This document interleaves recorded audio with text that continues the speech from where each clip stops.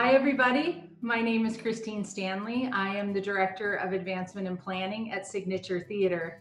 And today I have the very distinct honor of saying thank you. Thank you on behalf of our 54 full-time admin and production staff.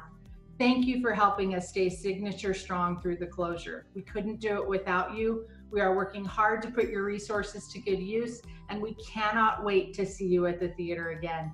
Thank you. In the meantime, I get to introduce one of the most beloved musicals of all time. Score by Leonard Bernstein, lyrics by Stephen Sondheim, and in this clip, we're highlighting the choreography of Jerome Robbins with a special assist from Parker Esse, who helped us adapt it for Signature Space. Please enjoy.